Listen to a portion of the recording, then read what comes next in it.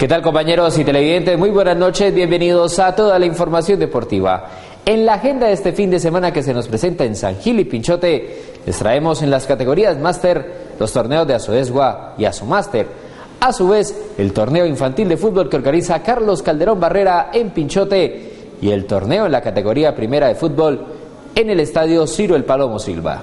El evento balompenco organizado por Azoesgua jugará su fecha correspondiente de los pentagonales en la cancha del Colegio Nacional San José Guarintá y el Estadio Ciro El Palomo Silva. Los partidos programados son sábado 22 de octubre, cancha Colegio Guarintá. A las 2 de la tarde, Mantillita enfrenta a Andrés Escobar. Y a las 4 de la tarde, la séptima versus Hermáquinas. Domingo 23 de octubre, Estadio Ciro El Palomo Silva. A las 2 de la tarde, Serpresio Quirós versus Independiente. Y a las 4 de la tarde, Alcaldía San Gil rivaliza ante Curití. En torno al certamen futbolero categoría infantil auspiciado por Carlos Calderón Barrera, les presentamos a continuación los cotejos de cuartos de final que se jugarán en la cancha municipal de Pinchote.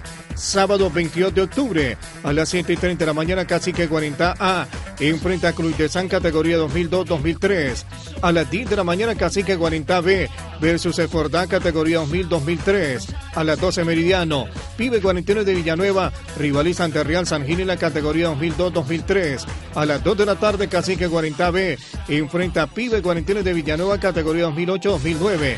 A esa misma hora, Cacique 40B rivaliza ante Pibe 41 de Villanueva en la categoría 2006-2007. A las 3 de la tarde, Sevilla Comunera del Socorro B enfrenta a Parma Fútbol Club categoría 2008-2009.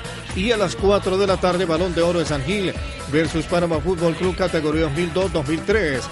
La fecha del campeonato dispuesto para su máster en la cancha del Colegio San José Guarentá tendrá seis partidos este domingo 23 de octubre. Conozcamos los lances que se efectuarán.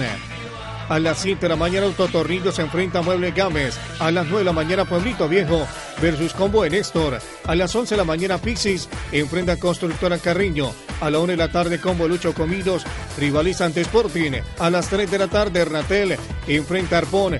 Y a las 5 de la tarde, Páramo rivaliza ante Independiente MG. Finalmente les anunciamos cuáles serán los partidos que marcan la jornada del Campeonato Municipal de Fútbol categoría primera, promocionado por Inter San Gil. Sábado 22 de octubre, Estadio Ciro Alfonso El Palomo Silva a las 3 de la tarde. Eco San Gil rivaliza ante Mezcla JJ. A las 5 de la tarde, Peine Ruiz enfrenta Villa Olímpica. A las 7 de la noche, San Martín A rivaliza ante Combo de Juancho. Y el domingo 23 de octubre a las 8 de la mañana, Unisan Gil enfrenta a Coqui Garay. El lunes 24 de octubre a las 8 de la noche, Villa Olímpica rivaliza ante JG Juan Cardoso. Seis medallas de bronce fue el balance de las judocas socorranos que participaron en el pasado nacional realizado en la ciudad bonita. Continúan los logros en el judo.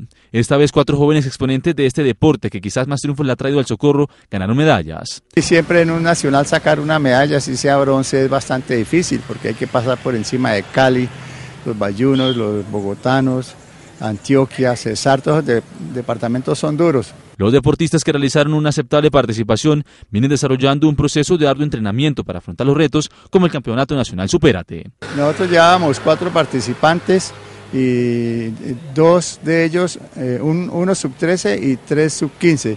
Los nombres de ellos son eh, Angie Sofía Espinosa, eh, que es sub 15, Daniel Martínez Vesga, también sub 15, y Diego Alexander Rangel de la categoría sub-15. Por la categoría sub-13 está José Antonio Caballero que ganó dos medallas de, bronce y hizo bonitos y buenos combates. Es un chico que mm, pinta para el futuro hacer, ser un buen judoka. Ahorita lo próximo a seguir es eh, en Bogotá, campeonato nacional, la final del intercolegiado Supérate. Para allí también tenemos cuatro competidores, de los cuatro competidores hay uno que resalta que dijo Juan Sebastián Aranda Plata, que ya fue subcampeón nacional y esperamos a ver si de pronto este año puede cuajar la medalla de oro. Sería muy importante. De esta manera culminamos nuestra sección deportiva, pero ya viene cultura y entretenimiento. Feliz noche y feliz fin de semana para todos.